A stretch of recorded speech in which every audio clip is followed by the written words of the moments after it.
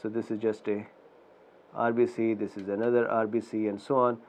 RBCs would start coming in, then proteinaceous material, so exudate will start appearing in here.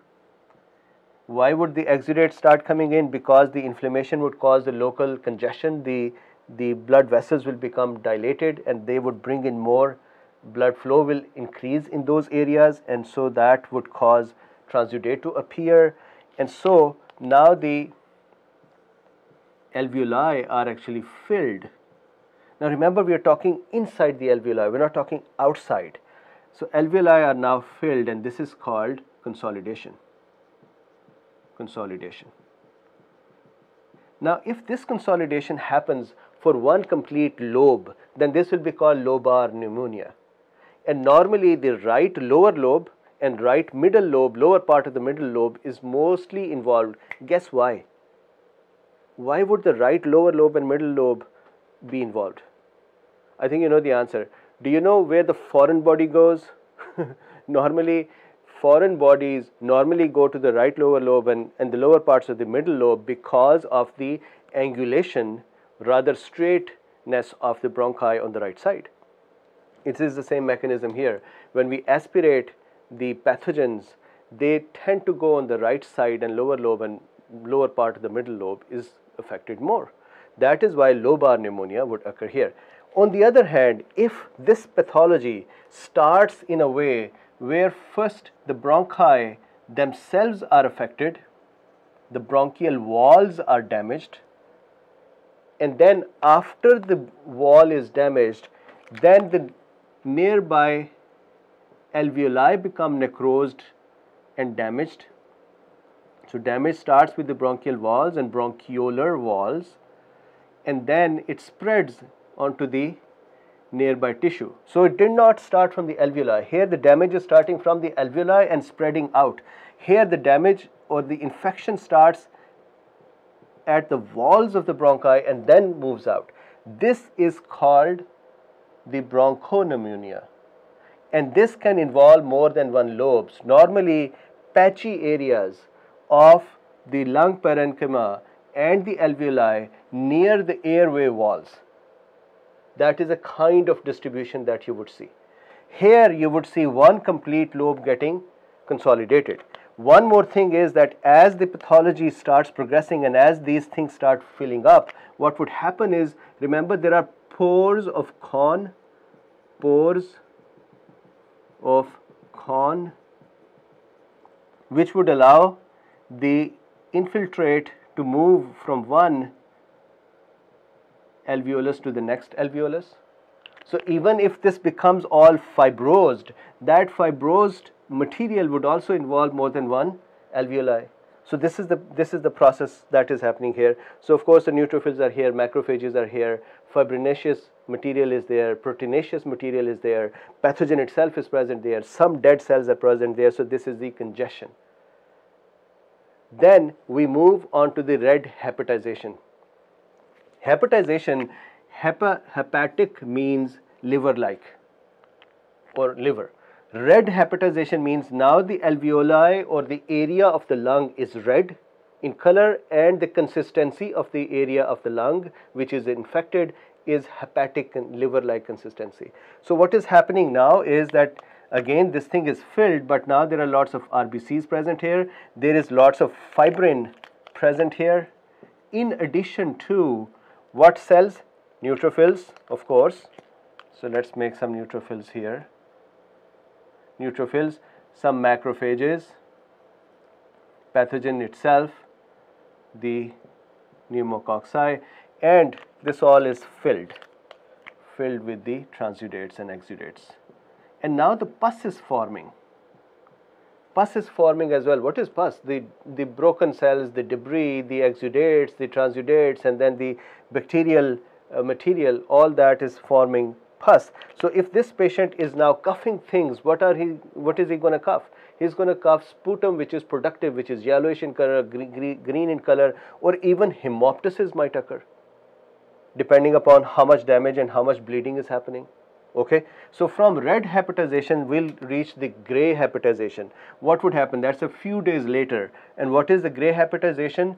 RBCs will become damaged and lysed and disappear. So the red color donated by the RBC's presence will go away and the rest of the material is present there. So we have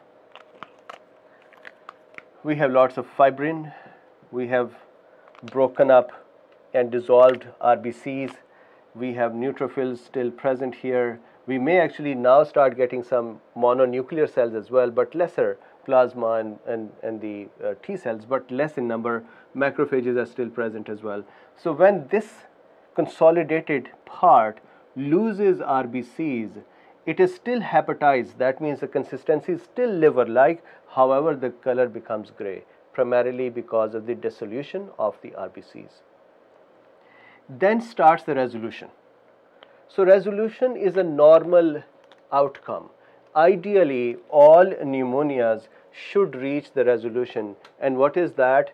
The cells here, the macrophages would start eating up and digesting the substances present over here. The phagocytosis would occur. Neutrophils would do that. Macrophages would do that. And the debris will either would, there are three, three things that can happen. Number one, the lysed debris, the lysed broken up pieces of this material now can either be absorbed, that is one, or macrophages would engulf them and then macrophages will be brought out through the mucociliary elevator and sputum or we will swallow them. So they'll be present in phlegm or sputum or will swallow those. That is why sputum test is important because sputum test will show the presence of the pathogen and the other cells there. What, uh, what else can happen?